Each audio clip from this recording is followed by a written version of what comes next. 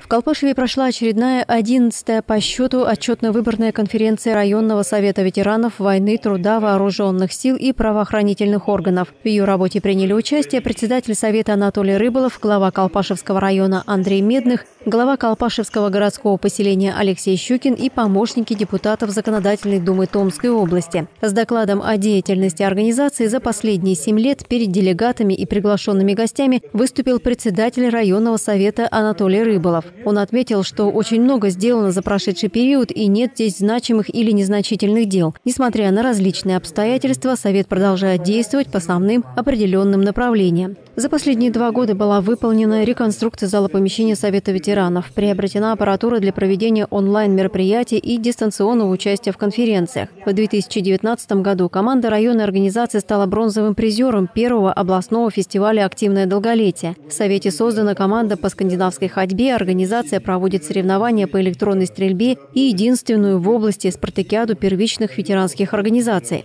В структуре районного совета ветеранов работает комиссия по оздоровлению в рамках сотрудничества с Колпашевской районной больницей. За последние три года лечения в ветеранской палате прошли 112 ветеранов. Кроме того, в медучреждениях Томска необходимые услуги получили 120 пенсионеров.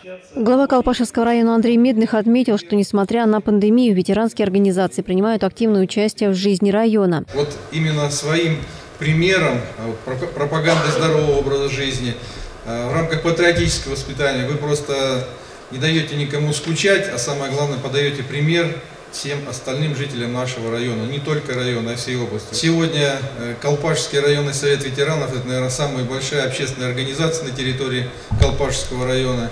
Э, в своих рядах объединяет очень много единомышленников.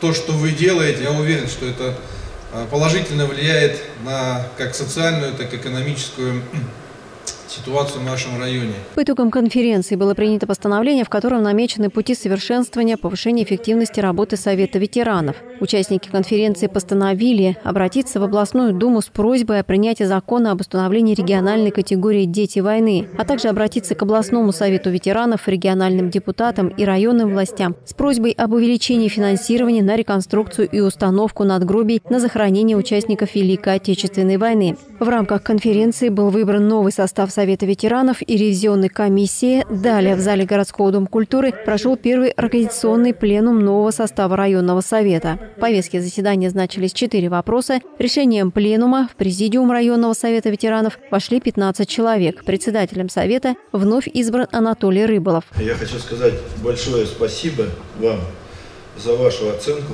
нашей работы. Я как работал так и буду стараться работать в том направлении, которое вот у нас обозначено. Заместителем председателя районного совета ветеранов была избрана Ирина Ковалева, ответственным секретарем Галина Ранзина.